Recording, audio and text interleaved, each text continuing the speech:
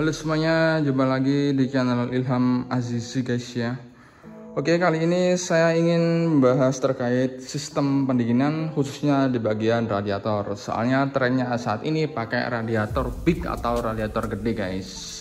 Oke, jadi merek yang populer saat ini itu mereknya Bipro ya. Jadi anggapannya hampir semua motor modif sekarang radiator radiatornya itu pakai Bipro soalnya Bipro ini menyediakan radiator racing hampir untuk semua merek motor gitu guys.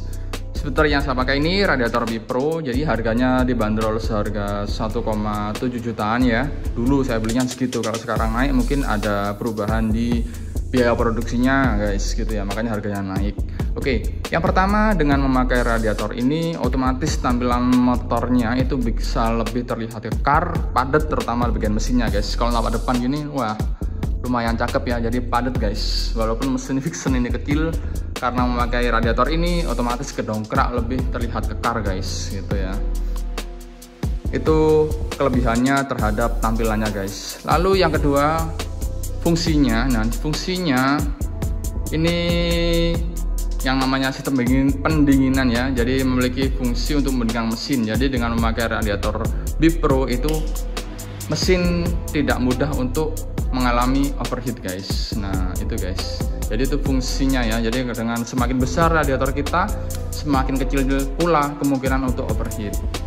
Tapi nah ini ada tapinya guys. Kalau misalkan mesinnya kita standar lalu radiatornya BIP Pro nah itu sebenarnya kurang apa ya kurang balance guys. Soalnya radiator BIP Pro gede ini sebenarnya peruntukannya untuk mesin yang sudah bore up atau sudah spek balap guys gitu ya jadi sebenarnya efek negatifnya terhadap mesin standar itu nggak ada guys.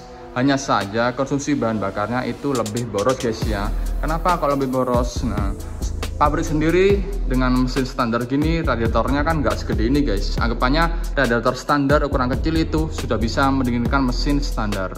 Misalkan kita ganti radiatornya racing lalu mesinnya standar itu efeknya nanti sistem pendinginannya itu terlalu over guys. Anggapannya mesin untuk mencapai suhu kinerja yang maksimal atau yang optimal itu sangat lama. Jadi kita memerlukan waktu yang lama melakukan perjalanan supaya suhu mesin mencapai suhu kerja yang optimal.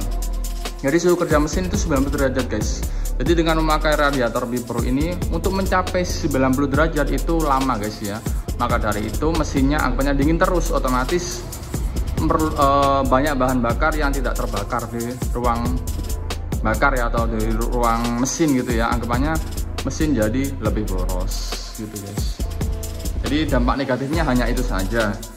Cuma dampak positifnya itu mesin tidak akan mudah untuk overheat kalau mesinnya standar. Nah misalkan mesinnya udah bore up udah naik spek ya sisinya udah naik cocok banget pakai radiator ini guys. Soalnya apa? Soalnya kalau mesinnya itu sudah bore up otomatis panahnya juga semakin gede ya. Kalau misalkan radiator standar itu malah gampang overheat mesinnya. Jadi kalau pakai radiator ini radiator Bipro itu malah lebih sesuai ya lebih balance lah gitu ya. Mesinnya panas radiatornya gede gitu. Jadi imbang guys gitu jadi kepannya bahan bakar yang ada di ruang bakar itu bisa terbakar dengan sempurna karena suhu kinerja mesin mencapai suhu kinerja yang optimal. Kalau misalkan misalnya standar radiatornya Bipro itu mesinnya terlalu dingin sehingga banyak bahan bakar yang tidak terbakar di ruang bakar gitu guys.